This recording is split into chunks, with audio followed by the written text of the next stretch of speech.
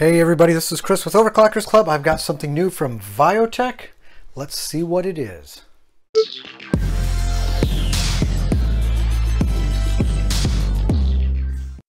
All right, so for all of you viewers at home, which is pretty much everybody, this is a gaming monitor.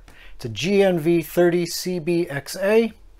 Although it says 29 and a half inches, it's got 30 in the part number, so I'm just going to call it a 30 inch monitor. It is curved, and let's see, 1080p, so you got 2560 by 1080 on your resolution, 1800 curve radius, so that's 1800 millimeters or 1.8 meters, up to 200 hertz on the refresh rate. You got your little bullseye there, your first person shooter, uh, FPS, RTS, and your low blue light capabilities, and that's about it on the box. So let's see what's inside. All right, looking at the components that are inside here, uh, other than the monitor itself, uh, there's a user manual, power cable, and a DisplayPort cable. And then here's the base, and this is uh, cast cast aluminum, all one piece. It's got some little rubber feet and one at each end over here like that. And then this is the vertical part of the support. And uh, this does this does raise and lower, which uh, it'll make more sense when the monitor is attached. But so you start by pop this little tab up, which it makes it easier to remove this fastener. And be careful because you've got some stuff here that's sort of loose, so when you take this out, you want to try to maintain that order there. So what you do, and you notice here there's a little slot, a little curved slot, and that is for this little piece right here that protrudes. That goes into that little slot like this, and that enables it to rotate but it has a stop at either end of the rotation. Now you want to be careful, you hold these two together and put this fastener in there.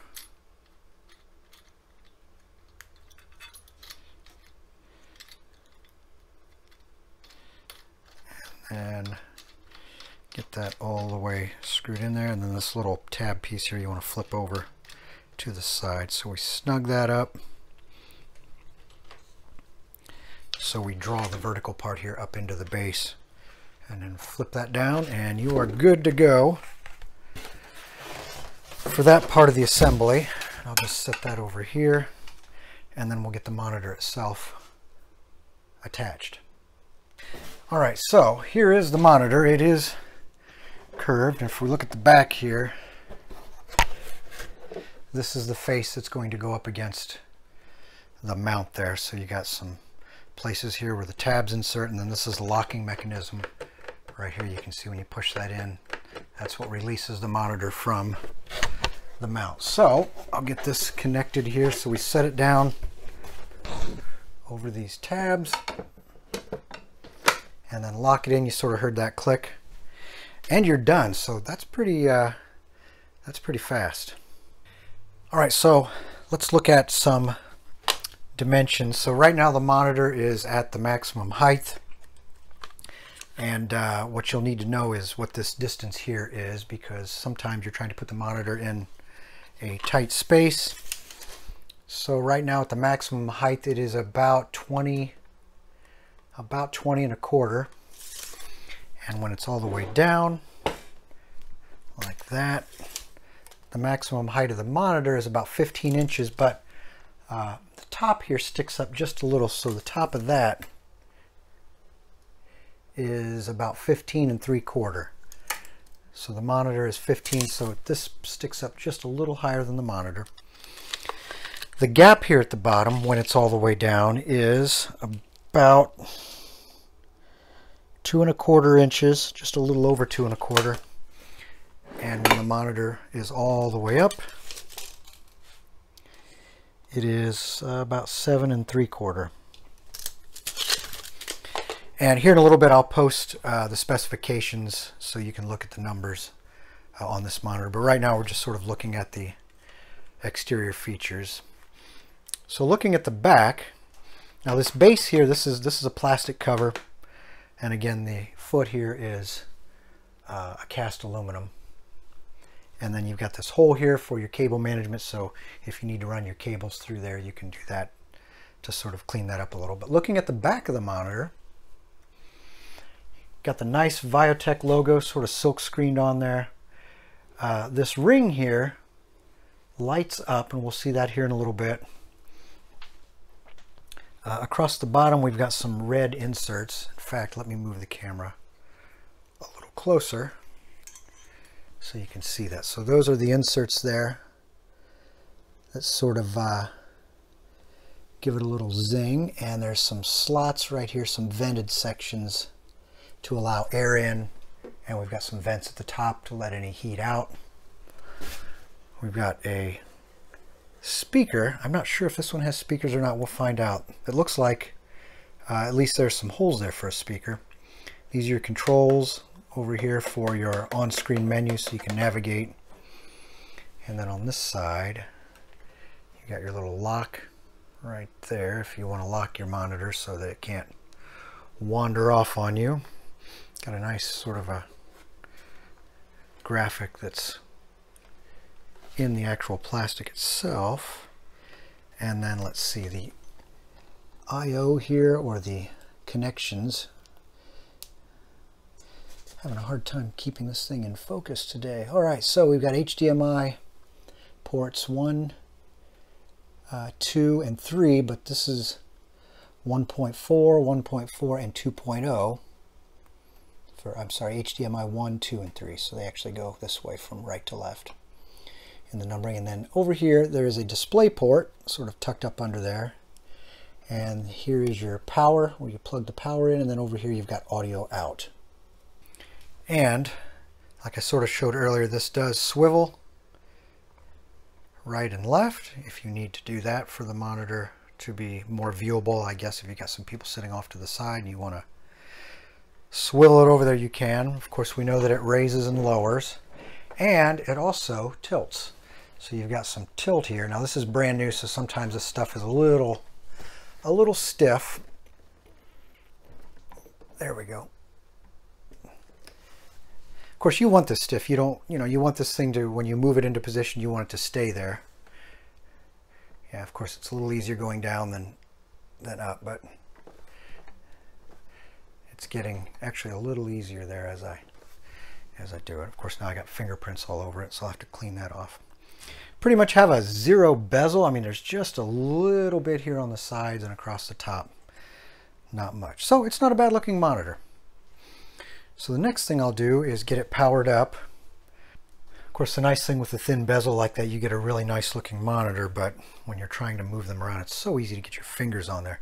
Uh, the older monitors used to have like an inch wide bezel all the way around, so you could sort of grip on that. But I've got some Vivitar out uh, alcohol and ammonia free LCD cleaner.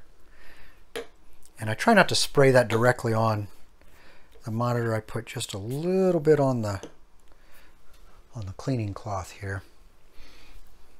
And then I wipe that very gently. Very gently.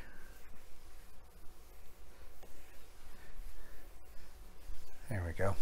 All right. All right, so now we'll get the power cord plugged in and we should see if it's like my other Viotek monitor, we should see a splash screen. There it is, yep. And since I don't have the DisplayPort cable hooked up just yet, it should say some kind of a message. Yeah, no signal. All right, so we'll get this plugged in to the display port, which is right there. And then I'll get the other end plugged into my graphics card and we should see something here in a moment. There we go. So the system boots up just fine.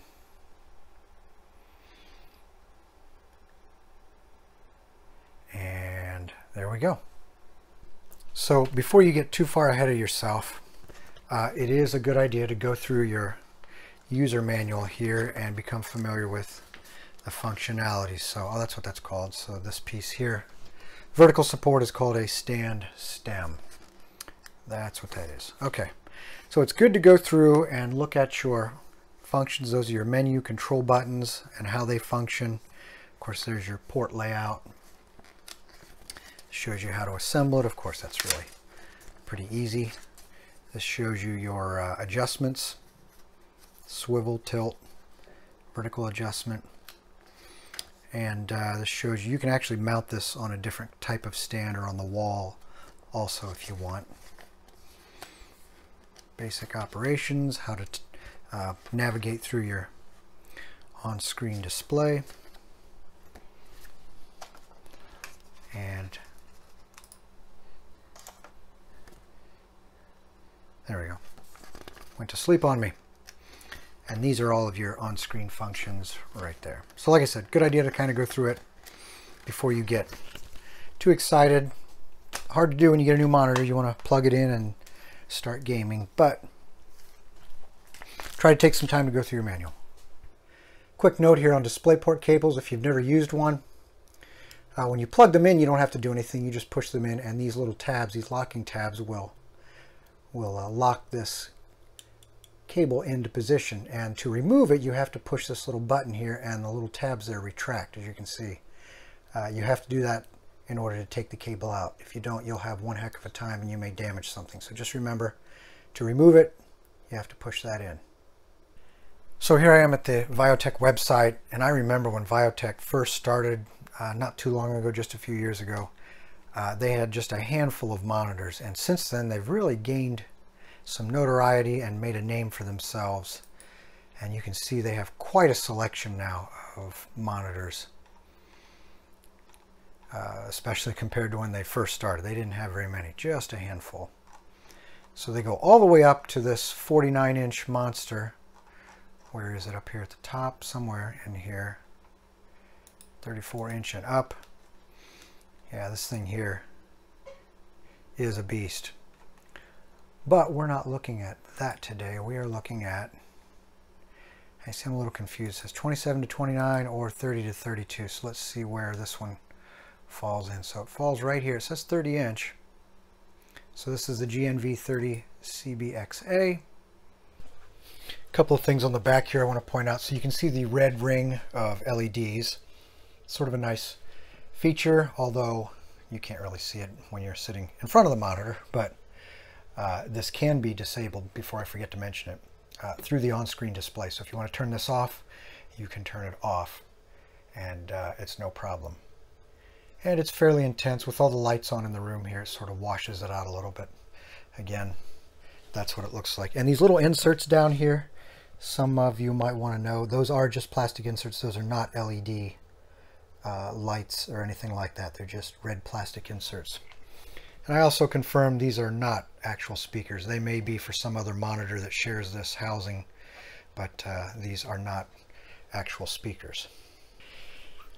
Now another interesting thing is I'm using uh, an NVIDIA graphics card. So this is the GeForce RTX. This is a 3070 Ti. So that allows me to get into the NVIDIA control panel. And what I can do here, you can see on the setup G-Sync, uh, it shows that I can enable the G-Sync or G-Sync compatible. I would think it would say compatibility, but either way, so I can set that up. And then I also have the ability uh, to go in here and change the resolution. So the default resolution is 2560 by 1080. But I can also go over here and adjust the refresh rate. Now the default when I fired it up was 60 hertz. So I can get into the control panel here and I can change it to 200, which is the maximum for this monitor. And I just realized there's a small, kind of hard to see, I don't know if I can really get in there. If you look right there, there's a little tiny green, like a power LED.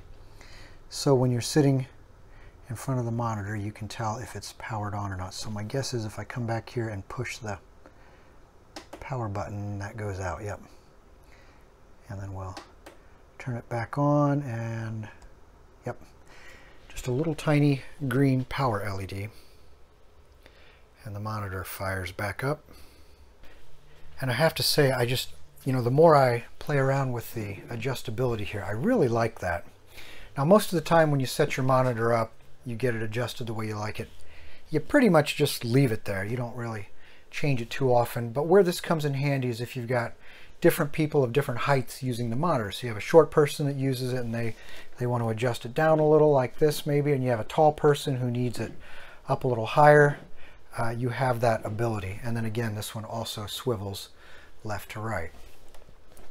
But that is just such a nice feature. And you know, after you have a monitor that has a stand that is not adjustable, you don't think too much about it, but once you have that ability, very nice. So things have changed over the years with the different panel types. This model right here, I just finished reviewing. It is the GF 127DBXA, the 27 inch flat panel gaming monitor. You can check out the review for that. But this one is an IPS or in-plane switching screen. They used to be known for having uh, pretty good color reproduction, but the response time was a little slow. Now that's changed over the years. Of course, the colors are still really good and they pop, but the response times have gotten a lot better on an IPS monitor. Now, the monitor we're looking at today, this one is a VA or vertical alignment.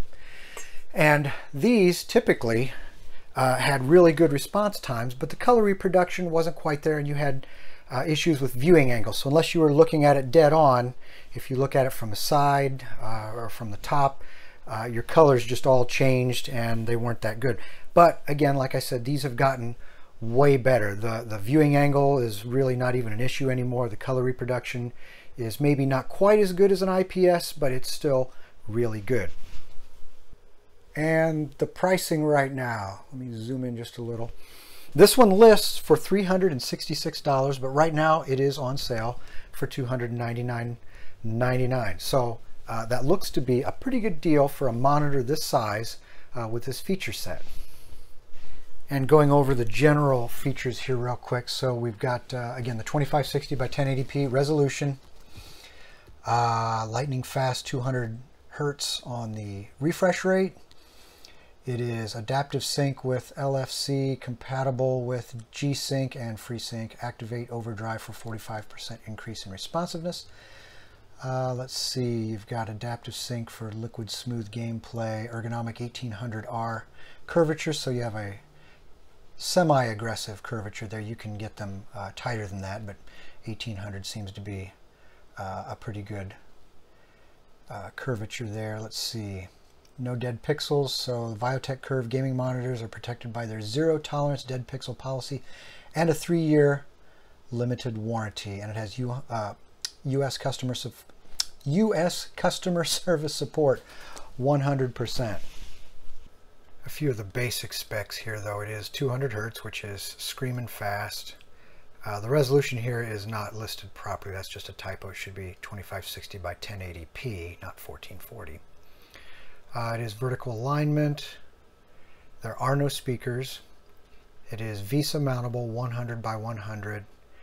And the other thing here is the dot pitch right there, 0.2697 by 0.2697. All right, so I'll fire up a little Titanfall here. And yeah, you can make fun of me for how, how much I'm not very good at it. And the other thing I'll do is I'm going to turn the room lights off so that we don't have any interference from any external lighting here. All right, so here we go. So first impression is the colors don't look bad. They are not quite as bright as what I saw on the monitor I looked at yesterday. I'm not saying that's bad, but that is typical of a VA or vertical alignment screen.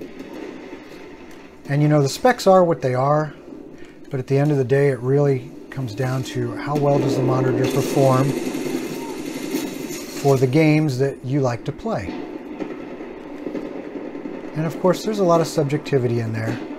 Uh, you know, you'll read a, a monitor review where someone will talk about how great a monitor is and someone else will say this this monitor really sucks. Don't buy it. Blah blah blah but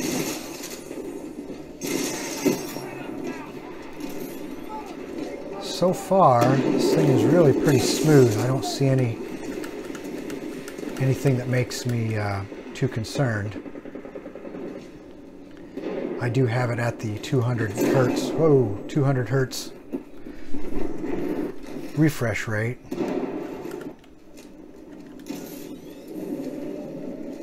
And you know, I've been playing this game since it came out. I, I just can't seem to get away from it. I've just always really enjoyed this game.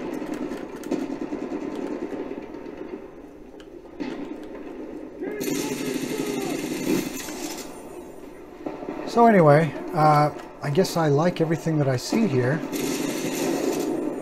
And yeah, I noticed the color isn't quite as intense, but it doesn't bother me. I would be perfectly fine using this as my daily driver or just playing uh, games from time to time. I think it would be fine either way.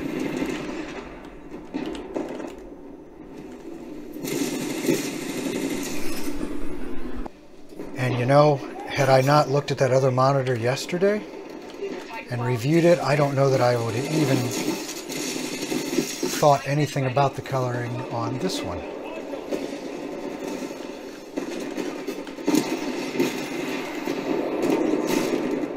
So, think this is a pretty good monitor. I like it.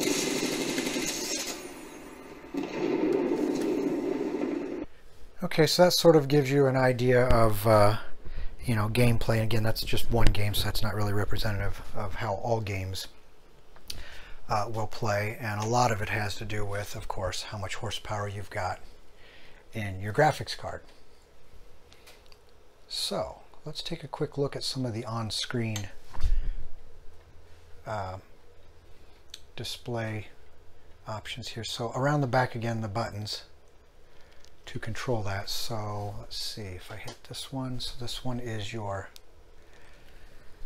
uh, the source. So auto source means it'll just detect whatever's plugged in, but you got display port, oops, and your HDMI options also. So the top button on the back here, you can sort of cycle through all of your different modes. So, oops, hit the wrong one. So multi-window, this is where you, uh, you go into your picture-in-picture -picture and multiple inputs, which I only have one input. And you can see right here it shows it's 200 hertz. Now when I first turned the monitor on and I got into the display, uh, it defaulted to 60 hertz. So you have to go in and change that yourself. But we'll come down here and so there's your color. You can change your color temperature, your on-screen display, whether you want this, you know, the center of the screen, top, bottom, your timeout, which is how many seconds before it goes off without hitting a button. Here's your setup. Now you notice the audio source is grayed out because there are no speakers. And let's see. Here's your low blue light mode. Let's see if I can get into these. So there's your aspect ratio. I'll leave it in widescreen mode. Low blue light, I have it in low mode. Response time, uh, I've got that on. I believe that's to the, the fastest response time available to the monitor. There's your FreeSync mode. I have that turned on.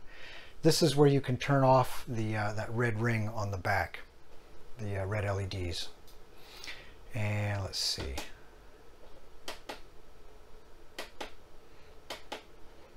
Back out of this. The very bottom one, I think we looked at that already. Whoops.